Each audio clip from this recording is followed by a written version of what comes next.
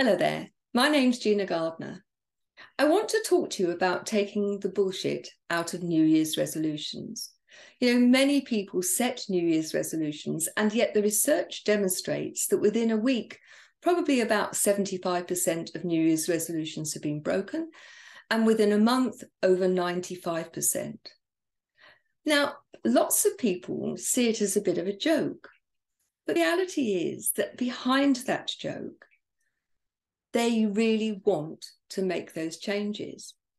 There's so much BS around New Year's resolutions. I should take you through just a few examples. Why is it that we set New Year's resolutions on January the 1st? Because ultimately, today is the beginning of the rest of your life, and tomorrow is the beginning of the rest of your life. And yet, we make a big thing about making New Year's resolutions on January the 1st knowing pretty well that the chances are we won't keep them. I'd like you to ask yourself when you think about New Year's resolutions, if you were going to set them, are they the same ones that you would have previously set on New Year's Eve last year? Let me ask you if you think about setting New Year's resolutions for this coming year, 2023, are they the same resolutions that you were thinking about setting in 2022, 2021, 2019, 2018?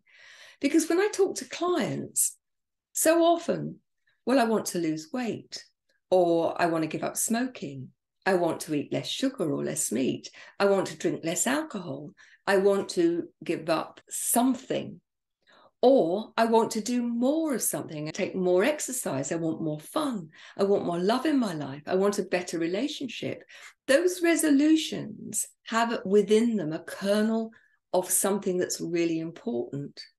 And yet we let them go. How many times have you done it yourself or you know of people? I'm going to start a diet and I'm going to start it on Monday. Monday comes, they're really good. Tuesday, they go into the office, somebody's got a birthday, and there's a beautiful birthday cake there. I'll just have a slice. They have a slice, they then feel guilty, but I'm going to start my diet next Monday. So there's no point in carrying on this week. I'll do it on Monday. And so they continue with the pattern of eating in the same way that they have done that's caused the weight. They wait till Monday. And then Monday comes, and during that week, they might manage a few days, they might even manage a week or a fortnight. But then something will happen and they'll fall off the wagon. And once they've fallen off the wagon, they don't immediately go straight back on it. They wait. And then because they wait, oh, well, I've broken it now. I might as well have another one and then another one. And whilst in the moment of eating it or drinking it, they feel okay. Afterwards, there's recrimination, there's the feeling bad, there's the guilt, the shame, and so on. So, is your New Year's resolution or you're choosing not to do a New Year's resolution there again and again and again, but there are things that you really want to change? The reality is that unless you change the conditioning, the beliefs that underpin those behaviors, your thoughts, your actions, your words, unless you change the whole nine yards, then you are very unlikely to succeed.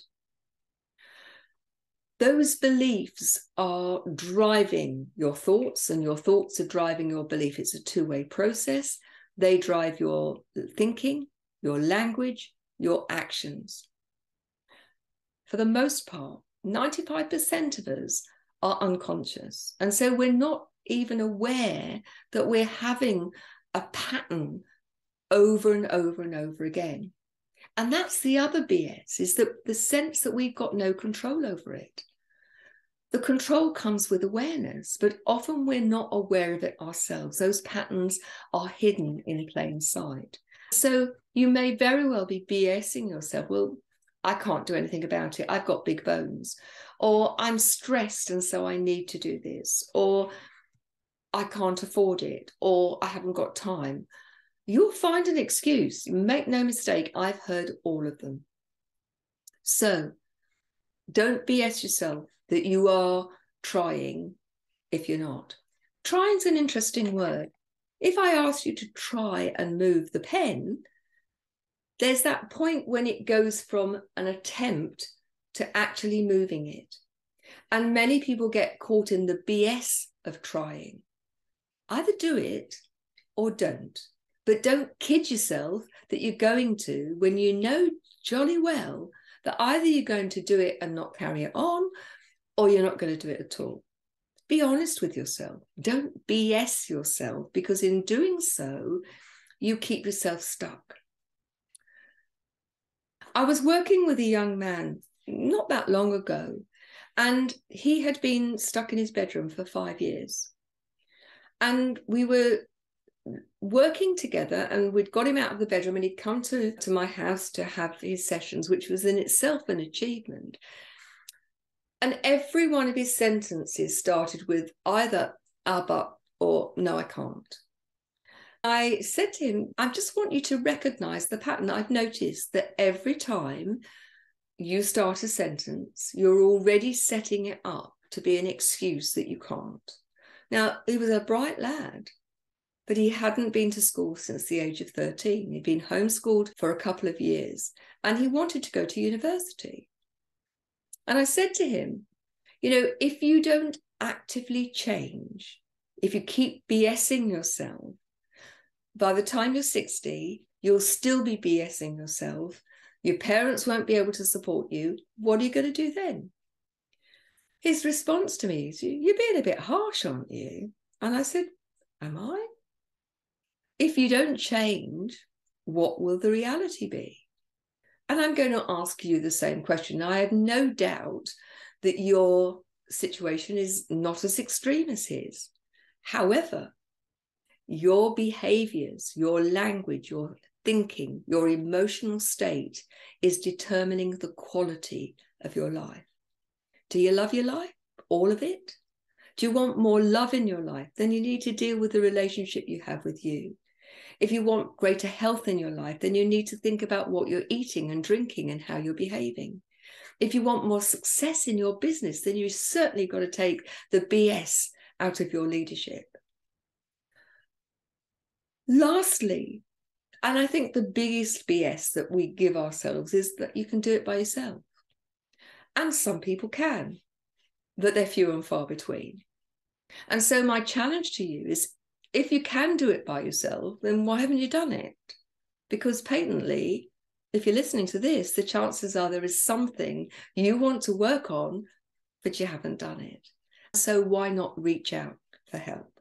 Now, I've created a lot of products to help. There are books. So if you're concerned about your health, for example, your life in their hands, where does the responsibility lie? It's a workbook. And all of these are intentional journals or workbooks. So they set up a principle and then they give you the opportunity to work on that principle, embedding it in your life for the next 30 days. If you're someone who's got long term illness or disability, including long COVID, or you have that you're supporting, then there is a book to help you get out of the BS that you're a victim to your illness or your disability. I've had long term disability. I'm a wheelchair user. I can now walk short distances, but I've been wheelchair bound for years at a time. I've had problems with chronic fatigue. I know that I am not my illness. I am not going to have my life defined by my illness or my disability. And so that's a book which is all designed to help you be the best physically that you can be, and for your helpers to help you in a way that is empowering rather than keeping you playing small. Now, if you're a leader, then I think it's time to be taking the BS out of leadership. There's a talk and there's a book that is available.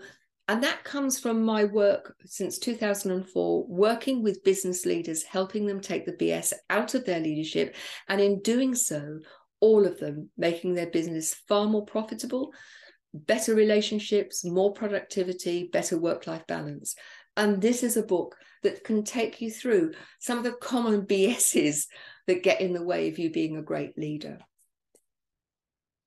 I think one of the areas that many people are not thinking about is them as spiritual beings.